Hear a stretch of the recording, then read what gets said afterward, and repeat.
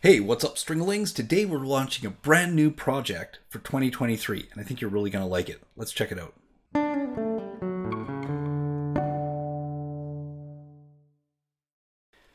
For the last month or so, we're right at the end of January right now.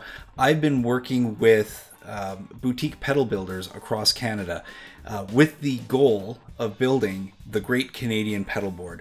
I've had these incredible people, they're actually just sending me their signature pedals uh, so that we can build a pedal board that really represents the, the, the breadth and width of tonal possibilities coming out of boutique handmade um, companies all over the country.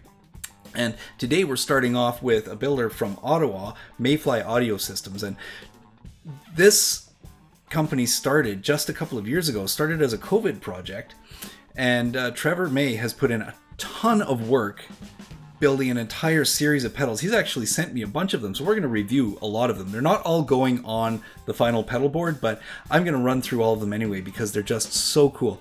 Today I'm starting off with probably my favorite out of the bunch and likely the one that's going to go on the big board. This is his uh, Sketchy Zebra, or Zebra as they say on the website. Uh, it's a phase shifter and vibrato. Now, if you don't know what the difference is between vibrato and tremolo, some people get this a little mixed up because on guitars we have this whammy bar thing and we often call it a trem, a trem system or tremolo bar, and it's not. Okay, the the big difference is this. A tremolo is a repeated note. A vibrato is a wavering in pitch. They're different things. So when you have a tremolo pedal, what it does is it repeats bop, bop, bop, bop, bop, bop, bop, bop, as you play it at different speeds. The vibrato changes the pitch. So it gives it more of a waver to the pitch and it's it's a very cool very spacey kind of effect but it is a special effect and it it needs a little bit of um, a little bit of a gentle touch when it comes to it so we're gonna plug this thing in and i'm gonna give you guys a rundown on how this pedal works and why it's so freaking cool Okay, so for the demo today, I am working with the Steve Barrett custom Luonotar model.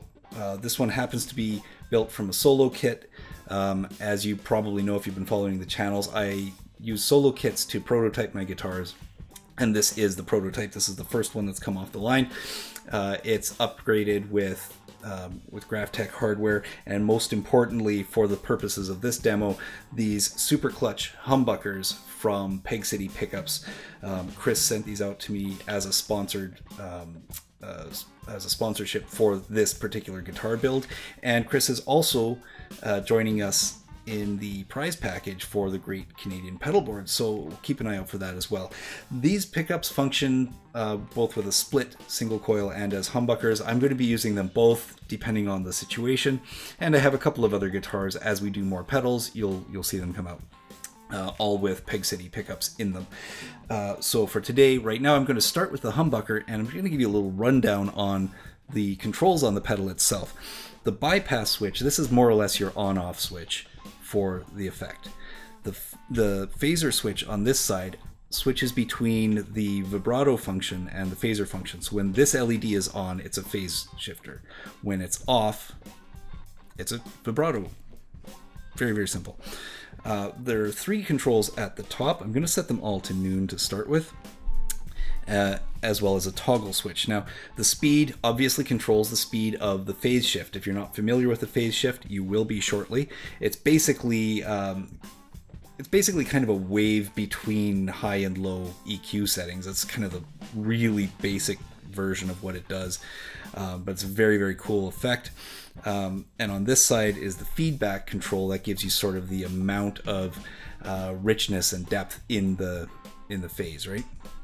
And then in the middle is a manual control, and this one only functions when this toggle switch is up. So when you're in manual mode, it actually lets you pause at some point in that phase cycle so you can act almost like a filter. Uh, and this is a feature that I haven't seen on other phase shifters. Maybe they're out there, but this is the first time I've seen one. My first phaser uh, was a Rocktek that I paid, I think, $25 for in 1989.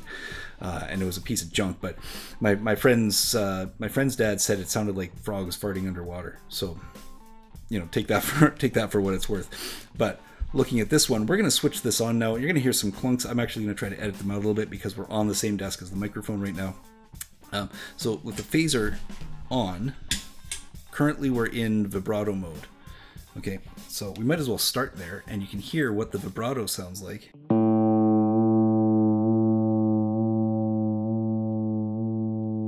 And I should say that for an amp, I'm using the ML Sound Labs Humble amp on the clean setting with just a little touch of reverb. Uh, it's just a very good, clean uh, pedal platform amp on the front end.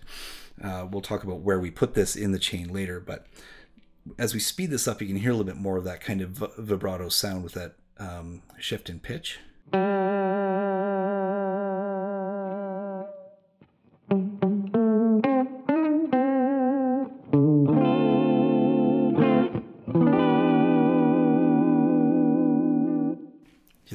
Waver, right? So it's actually vibratoing the entire chord just like you would do. Help if I turn that off. Right? So it's a waver in pitch. The feedback gives you a little bit more depth and range to it. Okay. And the speed, of course, goes from a very slow vibrato,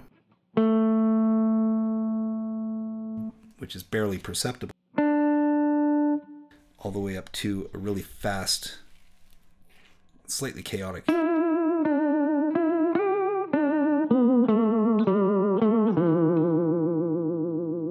So you do need to be a little bit careful when you're using that um, with that kind of speed and depth because it can it can take you out of tune right? The, the the pitch effect makes it sound a little bit out of tune. That's what it's supposed to do, but you want to be very careful that you're not um, uh, working against whatever else is happening in the rest of your mix. Going up to the neck pickup, you can.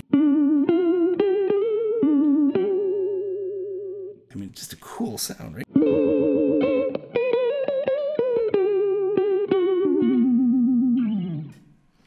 So when you combine this with other effects, you can get some really cool layers.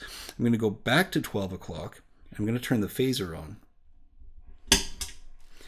This is a slightly more familiar sound, I think. So you can hear how it's going between kind of a bassy and a trebly sound.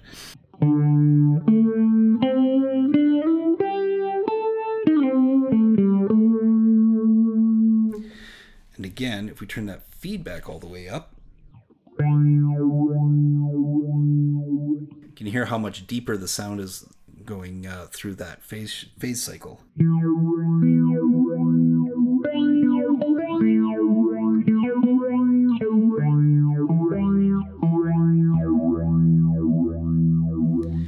And when we want to look for those frogs farting underwater I mentioned earlier, we've got to turn the speed all the way up. So when you got the feedback all the way up, you hear that almost like lasery sound in there.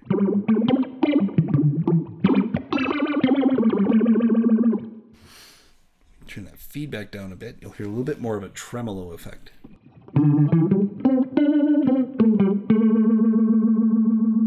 So the big difference there that you can hear is it's not wavering the pitch, it's attenuating the EQ a little bit. So it's going from a, a, a low pass to a high pass kind of a, a alternating sound. We can do that same sound with a little bit less speed and a little bit less feedback, and it becomes just a way to add some thickness to the sound.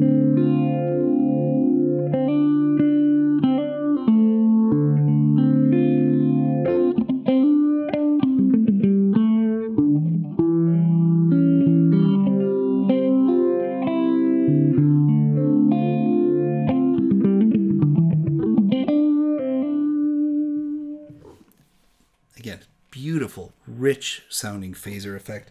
I'm going to go to a single coil sound. You'll hear a little bit more line noise because it's single coils. And it kind of cleans up a little bit of the back end of the sound so you get some uh, a little bit more clarity on the effect.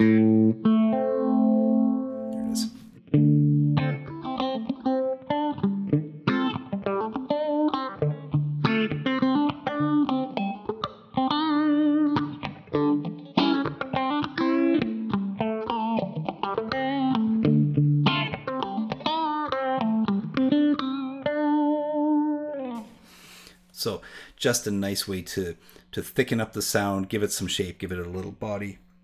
Going to the neck pickup. Turn the speed up a little bit so we get a little different texture.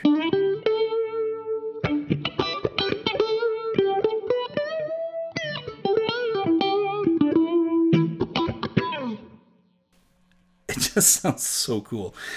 now, I had mentioned before that we're looking at this manual switch. Now, when we flip this guy up to manual, this is the control that takes over. So nothing else.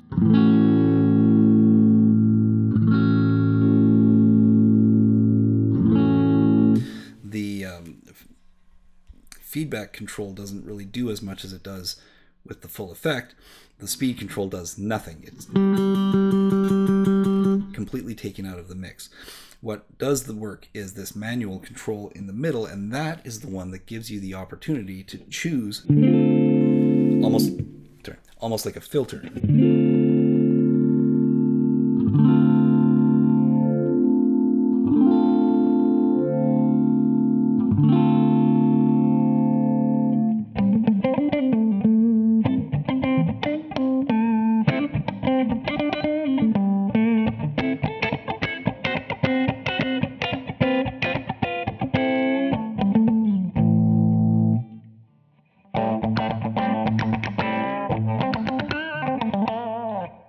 So it gives you that, um, uh, like I said, like a filtered sound, almost like a cocked wah kind of effect, uh, which is really neat, especially if you are switching guitars and you want to, you know, you play around with some tones a little bit more. You can actually do them right here um, with this little filter button, which just to me that's that's a game changer for this pedal.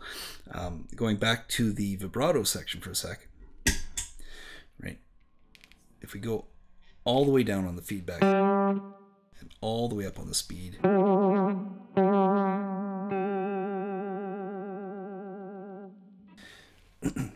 Get some pretty funky things going on. Come back to single coils and use both pickups.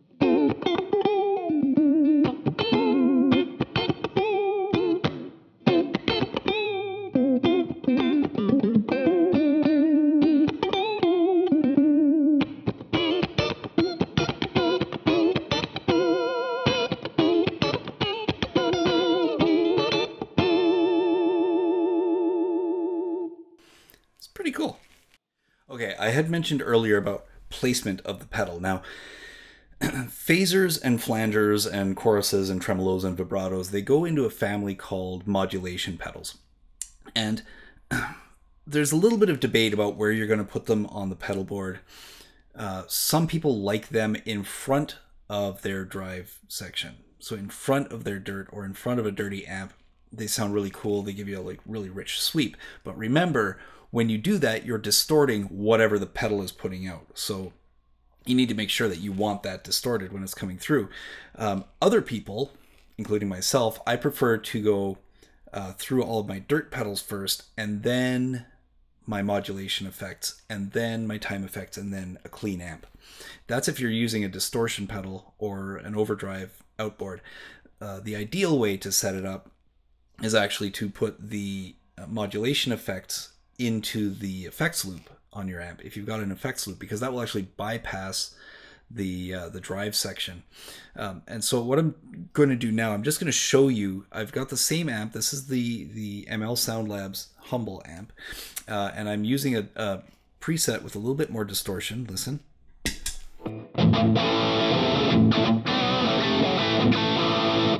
Okay. Turning the pedal on what it's going to be doing is distorting the phase effect.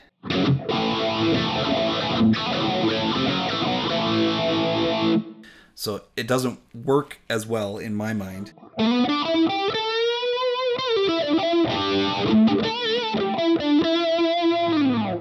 Some people like that sound. It's not my favorite. Um, you will sometimes hear a little bit more screechy stuff coming from the from the metal folks in the crowd by cranking that speed up, and we get.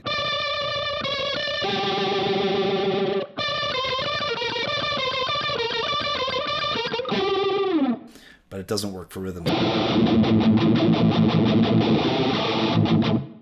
Oof. Not not a good effect. Very cool special effect on the lead side.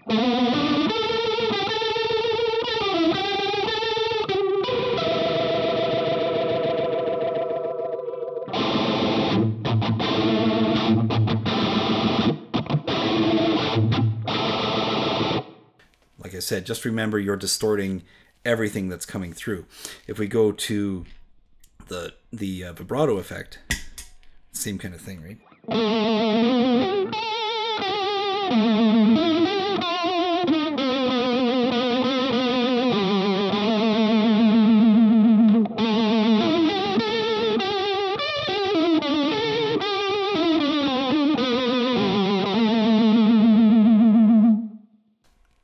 Coolness to it. Yeah, there's a coolness to it. What I will do later on when we have more pedals coming in um, uh, for demos is actually pair some of these up. So we'll be able to hear this compared to in front of and behind a distortion pedal versus in front of and behind an effects loop. Um, so keep an eye out for that, and uh, that will do it, I think, for this demo. So let's wrap it up. So that is the Sketchy Zebra or Sketchy Zebra uh, phase shifter and vibrato pedal from Mayfly Audio. Um, one of the coolest pedals I've seen in a long time, and we're only getting started on this project. So keep an eye out, subscribe not just to this channel, but to this playlist, uh, as well as make sure you check out the socials. There is a link to this pedal on the Mayfly website. I want you to check that out as well, uh, because absolutely very, very cool vibe from this company. Um, and a lot more cool stuff coming up. So check out all the socials you can. Make sure you follow that hashtag Great Canadian Pedalboard.